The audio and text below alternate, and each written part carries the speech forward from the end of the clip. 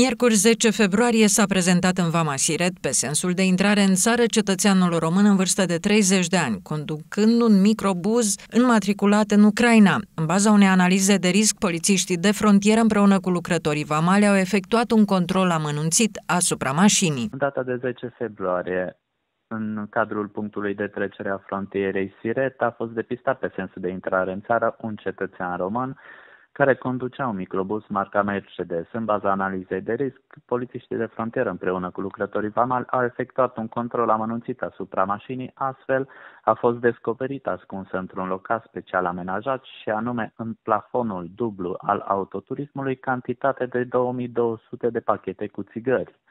O altă persoană a fost depistată tot pe sensul de intrare în țară, un cetățean român care conducea un microbus marca Iveco înmatriculat în România. La controlul efectuat asupra mașinii, lucrătorii noștri au descoperit mai mulți saci cu semințe de lucernă și trifoi, iar la solicitarea documentelor pentru marfa transportată, cetățeanul român a prezentat un aviz de însoțire a mărfii care la cercetări s-a dovedit a fi falsificat. În ambele cazuri, cantitatea de țigări și întreaga cantitate de semințe au fost ridicate în vederea confiscării, iar ambele persoane au fost sancționate contravențional, prima cu amendă în valoare de 10.000 de lei, iar a doua cu amendă în valoare de 1.500 de lei. De asemenea,